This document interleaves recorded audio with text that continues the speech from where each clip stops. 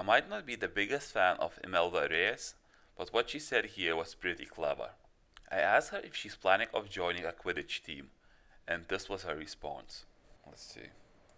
I take it you want to play for a team, but which one? And which position?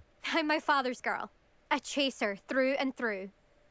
You'd know that if Black hadn't cancelled Quidditch this year. As for a team, it's the Holyhead Harpies I've always dreamt of. When I'm finished with school, I'll try out. If for some reason I don't get accepted, I don't know what I'll do.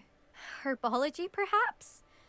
Because if that did happen, you might as well pop me and call me a mandrake. I'd never stop screaming.